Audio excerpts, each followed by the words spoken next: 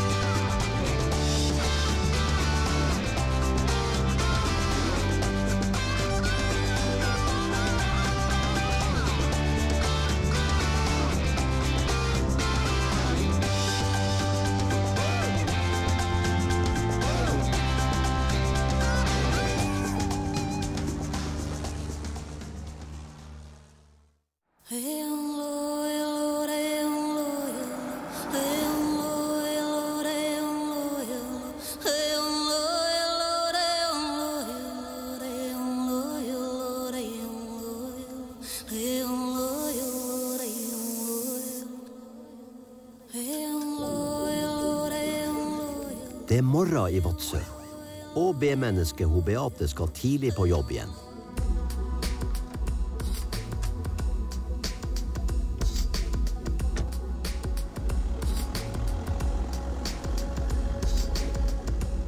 Man blir egentlig aldri vant til det. Men eh, noen må jo gjøre jobben. Så da er vi jo bare pent nødt til å stå opp. Og som vi bruker å si på jobb, noen må jo spenne han i ræva sånn at han også våkner og blir noe gal. Forhåpentligvis det første som skjer, er jo at jeg får en til kollega på jobb. Foreløpig er han jo alene. Og så eh, regner jeg med at vi får en par passasjerer som skal ut og fly. De vil vel være her i løpet av en 20 minutters tid. Vi skal jo få av gårde første flyet. Det står i hangaren. Så det blir taua ut. Og så er det bare å gjøre vanlige flyrutiner. Eneste forskjellen da er jo at det ikke vil lande. Det står ferdig på plass her. Dagens første fly fra Vadsø går til Mehamn klokka 05.20, og kabinaspiranten han Kai er i praksis som flyvert. Tidlig oppe, dere òg. Man klarer ikke å tenke klart så tidlig. Og du holder så fin her, liksom. Ja, sant. I alle fall. Ja, det er jo bra. Er du helt ny, du? Helt ny, ja. Jeg kan hilse på deg. Kai. Beate. Tromsø-Beate. Tromsø, ja. Ja. Da ses vi nok mange ganger. Vi gjør nok det, vet du. Jeg er her i Vadsø fordi vi har hatt uh, overnatting. Vi kom hit i går på ettermiddagen, og så er sted igjen i dag. Jeg har vært noen dager i praksis nå og trives kjempegodt. Alle ting som man har pugga, og ting som man har sittet og lest og sett på skjema, hva man gjør i løpet av dagen og sånn, det gjør man jo hele tida. Man har bruk for det man har eh, lært på kurset, absolutt.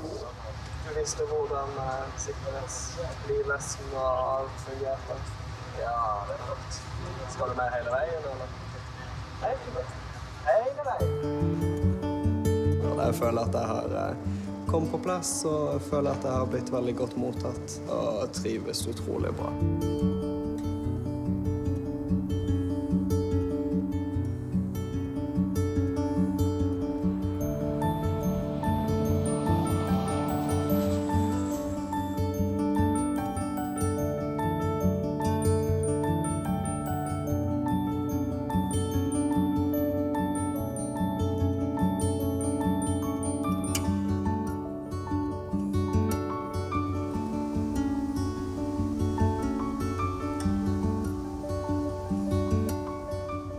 Av kabinaspirantene har hatt noen tøffe uker etter kabinkurset. Etter å ha fått en tung nyhet er hun nå hjemme hos mor. Sånn, her kommer brunosten. Ja. Takk skal du ha. Takk. Skal ni gjøre sammen? Kaffetåre. Varm kaffe. Nystekte boller. Ja. Noen uker før kurset så um, valgte jeg å dra til legen fordi at jeg hadde oppdaga en kul. De trodde at det her var ikke noe farlig, det var ikke noe å tenke på, men vi skulle ta en celleprøve for sikkerhets skyld. Etter fire uker så får jeg svar fra legen, og da sa han at det er dessverre kreft. Det var den dagen vi hadde eksamen. Det gikk, det gikk greit, men um, i en time da så forsvant jeg fra skolen, og så for jeg hjem for å prate med mamma og pappa og søstera mi. Eksamensdagen var en spesiell dag. Det var jo siste delen av kurset og var nesten, nesten kommet i mål. Også. Det var en tøff dag. Det var sånn idet liksom Jeg fikk telefonen at du Jeg måtte få deg til å gjenta det fire ganger, for jeg klarte ikke å høre hva du sa. For at jeg skreik. Ja. Og så var det liksom Hva er det egentlig du sier? For det jeg trodde, det var at du hadde strøket på eksamen. Å ja, ja. Det var det jeg trodde. Det var jo kjempesterkt når vi da møttes i lag og bare på måte, fant styrke i, i lag. Vi hadde det veldig sterkt, både på godt og vondt. Ja. Ja. Jeg ble heldigvis tatt inn veldig fort, så bare ei uke etter ble jeg operert. Så nå venter jeg egentlig bare på resultatet. Hva ser du for deg fremover nå, da? Ehm, nei, altså det jeg vil, er jo å komme ut i jobb så fort som mulig. Så det kommer jo helt an på hvilken beskjed jeg får. Eh, blir det cellegift som jeg er forberedt på, så må jeg jo utsette Eller ja, da får jeg ikke begynt å jobbe med det første. Da må jeg jo vente uh, seks måneder, tror jeg, før jeg. Så det er veldig vanskelig å si. Men jeg, jeg, jeg har jo, jeg, det er jo bare håp at, jeg, at det ikke går så lang tid. For meg, det å ha noe å se frem til og vite at jeg har en plass å komme tilbake til, det er, er kjempeviktig for meg. Men det at du er så positiv sjøl og sånn, det er jo kjempebra. Så det, og det er så godt å se at du gleder deg sånn til å komme deg i jobb. Det er utrolig bra. Så får vi se etter hvert hva som skjer i neste uke. Ja. Ja, det blir spennende. Men nå syns jeg dere må smake på boller før de begynner å bli kalde. Varme boller er jo godt. Det er jo da de er best. Vi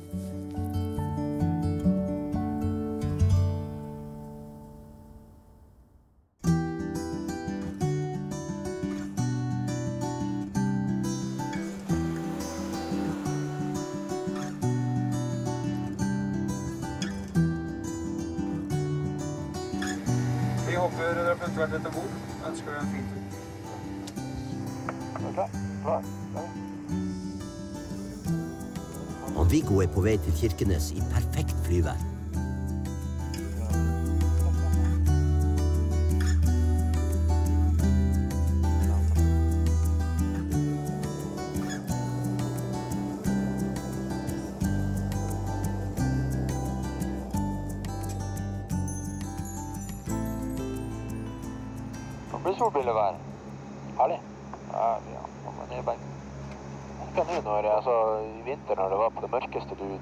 Var mørkt, og du landa når det var mørkt, og du gikk og la deg når det var mørkt. Og nå er det jo på en måte gradvis lysere, eller det er jo lyst da. Ja. Det er jo kjempefint. Jeg pleier å ta noen fine sommerdager hver sommer, så memorere de mentalt, og så putte de godt ned i flightbagen. Så ta de opp igjen på vinteren når det, det er som verst med avvisning og forsinkelser videre. Helt enig. Det er sånn her motivasjonspakke, det der. Ja. Dagens høydepunkt. Det er noe med å sitte på eh, 23 000 hoder og drikke en kopp kaffe. Ja. Jeg syns den smaker så mye bedre oppi her enn å gjøre hjemme. ja da. Det er Men det er rart, rart med det.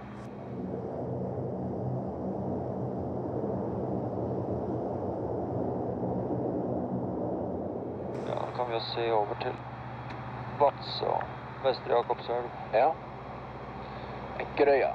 Hun eh, kjente skuespilleren eh, som har ei bestemor på Ekkerøya, heter Dagens quiz. Dagens quiz. ja.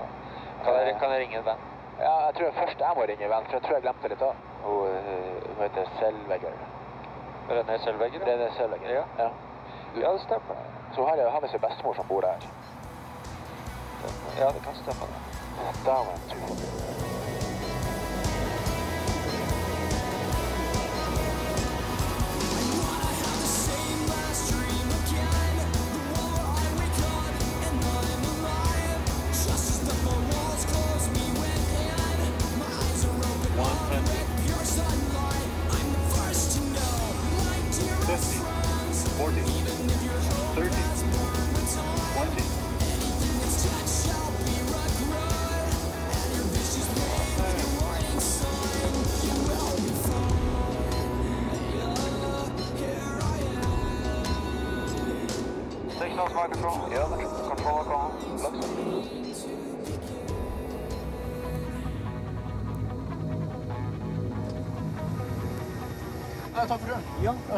Veldig hyggelig.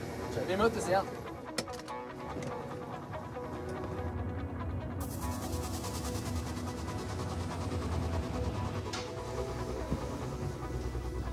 Hei. Takk, takk. Skal vi se, Widerøe-crew, Viggo Olsen.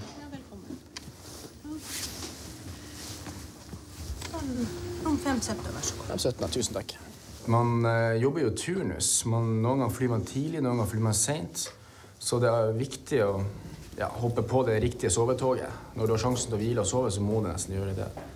I dag har vi begynt veldig tidlig på jobb, og da er det avhengig for meg å da på en måte hvile ut når jeg har sjansen til det. da. Så er jeg klar for neste økt, som da er i morgen tidlig igjen. Vi skal opp klokka ja, fem-seks i morgen tidlig ikke sant? På, på natten, og da er det greit å være fit for fight. Eller fit for flight.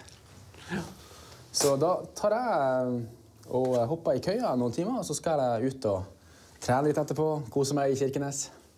Se hva byen har å by på. Ja. God natt. Eller god morgen. Ha det.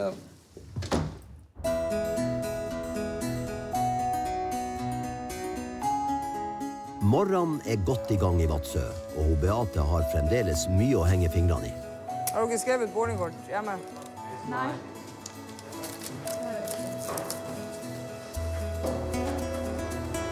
Er det konsert dere skal på? Ja, ja. Takk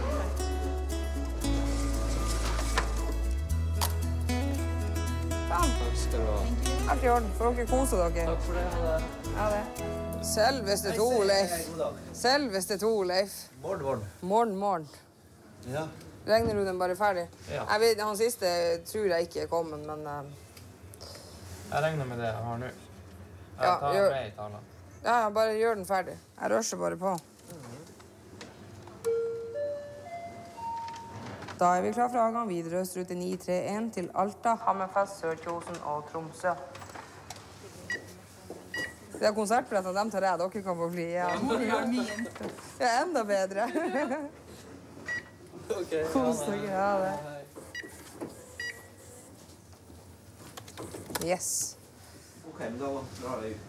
Ja. Jeg kommer. Jeg går en siste runde i slusa og ser. Ja, mangler vi en, da. Ja, Det er bare å trekke den ifra. Gjør bare låten klar på LMC. Det vet jeg ikke, det må du se. Du må se på NBD. Kommer det en til? Nei, jeg mangler en. Så men jeg skal bare gå og se. Hammerfest ja, kommer sikkert. Nei, men hvis han kommer, så er det bare å stryke ut, sant? Det er bedre å bare regne det ferdig. Du må lære av en gammel ringrev, vet du. Tar dere han bare rett inn? Nå var han veldig heldig, denne passasjeren, for stort sett så har jeg en ganske god policy på at er du under 15 minutter før avgangstid og de andre er gått om bord, så låser jeg flyet. Men om man venter på en pass passasjer som er forsinka, og flyet blir forsinka, så er det god service for den ene. Og hvis det sitter 38 stykker om bord, så er det dårlig service overfor de 38 som sitter om bord. Så derfor må man klare å bare kjøre den harde veien og, og la dem bli igjen. Hei. Ja, gå bare om bord. Hei. God morgen. Yes. Ha en fin dag. Vi snakkes. Ha det. Da er begge morgenflyene reist. Så har jeg en ankomst nå klokka åtte, som skal gå helt som normalt. Men jeg har også en ankomst som skulle ha vært her klokka ti, som ikke vil gå som normalt i dag. Den er innstilt pga. teknisk feil. Så da har jeg bestilt buss for de 16 passasjerene som skulle vært med det flyet, til Kirkenes, og at de kommer seg fra Kirkenes og videre sørover uten å bli ytterligere forsinka, i hvert fall. Så lenge du har et opplegg og kan si til dem at sånn og slik og sånn gjør vi det, og så er vi ferdig med det, så, så nikker de fleste og sier at OK, men det var flott. Da er vi fornøyd med det. Klare meldinger hele tida. Det er dem du kommer lengst med. Skal jeg bare gå inn foran i forsetet? Ja. Så de som er her, de får være med, og de som ikke har stått opp, de får vi finne en annen løsning. For det er nok noen som ikke er kommet. Arne Jensen. Jarre Jernsletten. Nei, men da eh, har jeg egentlig kontroll. Da får dere ha god tur. Hei. Vi har kommet fra Tromsø, og vi skal eh, til Berlevåg. Ja. Og eh, Drosja holder på å sjekke om det i det hele tatt er kjøreforhold for å komme seg dit. Ja. Så hvis dere bare sitter ned og venter litt, så Yes. skal jeg gi dere beskjed så snart jeg vet. Super. Ja. Det er jo kjempeviktig at vi kommer oss til Berlevåg da, i dag, for at vi skal være med i en musikal. Være dansere, og vi er bare tre dansere, så det er helt avhengig av at vi, at vi er der på plass. Ja. Alt er fullt. Taxien hadde ikke biler til å kjøre med. Så er, jeg snakka nå med busselskapet. Og det går en kolonne 11.30 fra Tana. Så vi håper jo at fjellet ikke når å stenge i hvert fall før dere kommer dere av gårde. Men eh, han skulle se om, hadde, om det fantes noen bussmuligheter for å få kjørt dere dit. Jeg tør ikke å love noe ennå, men jeg venter på Han skulle ringe meg tilbake om fem minutter. Men er dere heldige, så får dere en 52 seters buss alene. Ja. Hei, det Widerøe. Ja, du får bare komme. Det får du bare koste det det koster. Hvis du bare klarer å komme så fort som mulig, så hadde det vært bra. Jo, det jo hvis du skal ha litt tid på å nå den kolonnen og slippe å stresse, så Ja, nei, men det er greit. Jeg skal gi dem beskjed. Flott. Ja, hei. Hva de sa? Vi hørte du snakke. Ja, han ringte nå og sa at det eneste han hadde var tilgjengelig, var en svær buss. Men han skulle komme. Å, flott. Takk skal du Ja, ha. ja, ja. Alt i orden. Service. Dagen i dag har egentlig gått veldig greit, selv om vi har en kansellering. Jeg føler at jeg har full kontroll på det jeg gjør, så alt har gått sånn som det skal gå. Jeg prøver nå å gjøre det beste for mine. Ja, ja, alt ordner seg nå. Det her er kult.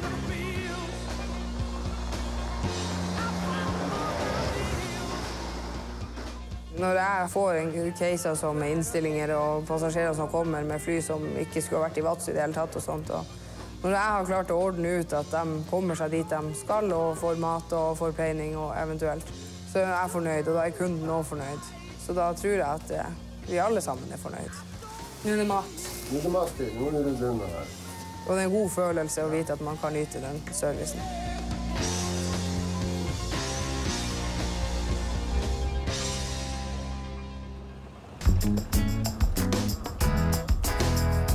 Han Viggo traff søvntoget og er nå fit for fight. Eller middag. I kveld så er det avtale at vi skal møtes og ha en sånn vanlig crewmiddag. Det er viktig å ordne seg litt. i det. Det er ikke alltid at hårdagen er så bra. Noen ganger er han veldig dårlig. Men eh, det er ikke noe jeg legger så veldig stor vekt på. Det blir litt, pustig i dag. Men det er viktig å være respektabel når man er ute og spiser de sel selskapet sitt navn? Nei da, jeg tror det her blir bra.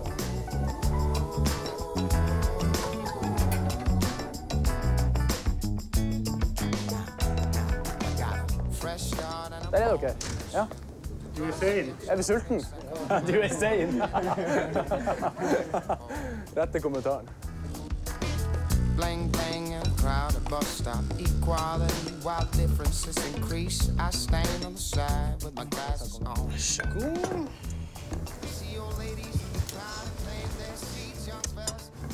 Å, så god den så ut. Vær så god.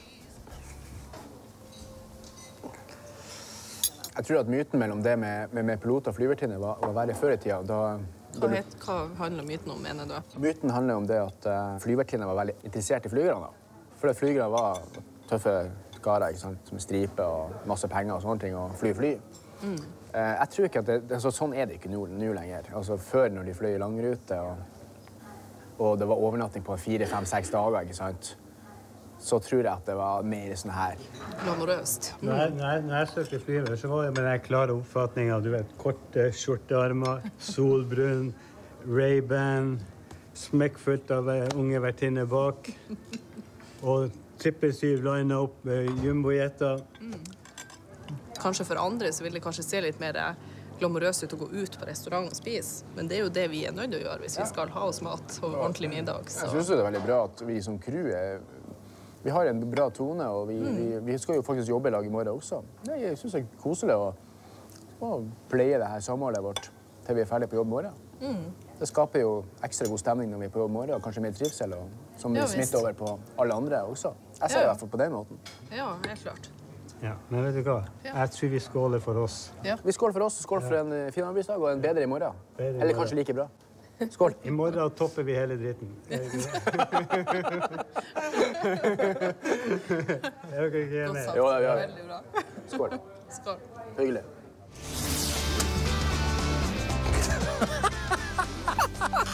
Og det er så varmt. Ja. Ja, det er jo kanskje brann. Nå skal jeg inn til legen for å få vite om det blir videre behandling. Om det blir cellegift, så vil jo det si at jeg ikke kan begynne å jobbe nå de nærmeste månedene.